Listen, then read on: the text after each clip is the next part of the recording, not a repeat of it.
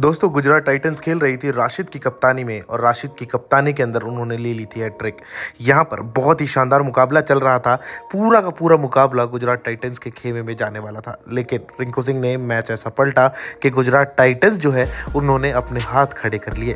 हुआ यूँ कि गुजरात टाइटंस जिस प्रकार से खेल रही थी, लगा नहीं था कि के का जो ये मैच है, ये उनके हाथ में वापस आ जाएगा। लेकिन के के रिंकू सिंह ने एक ऐसा कमाल किया आखिरी ओवर में जब छः गेंदों पर उनतीस रनों की ज़रूरत थी तो उन्होंने सीधे सीधे इकतीस रन बना डाले और टीम को जिता दिया। एक नहीं, दो नहीं, तीन नहीं, चार नहीं, बल्कि पाँच छक्के लगाकर उन्होंने इस मैच को जो है आखिरकार गुजरात टाइटन से छीन लिया। रिंकू सिंह ने जैसे ही ये मैच छीना, उसके बाद रिंकू सिंह के पास पहुँच गई पूरी की पूरी टीम और रिंकू सिंह को गले लगाकर हवा में उठा लिया। रिंकू का माहौल ऐसा था कि रिंकू की आँखों से आँसू छलक पड़े और वो अपने कोच के गले लगकर बिलख पड़े। जी हाँ दोस्तों, इसके बाद हर कोई रिंकू के ही रिंकू के नारे लगा रहा है और कोई यही बात कह रहा है कि आज तक आईपीएल के इतिहास में ऐसा कभी नहीं हुआ। अब सिर्फ़ एक ही चीज़ हो सकती है छः छक्के लगना। अब इकतीस रन यानी पाँच छक्के तो लगा ही चुके हैं रिंकू सिंह।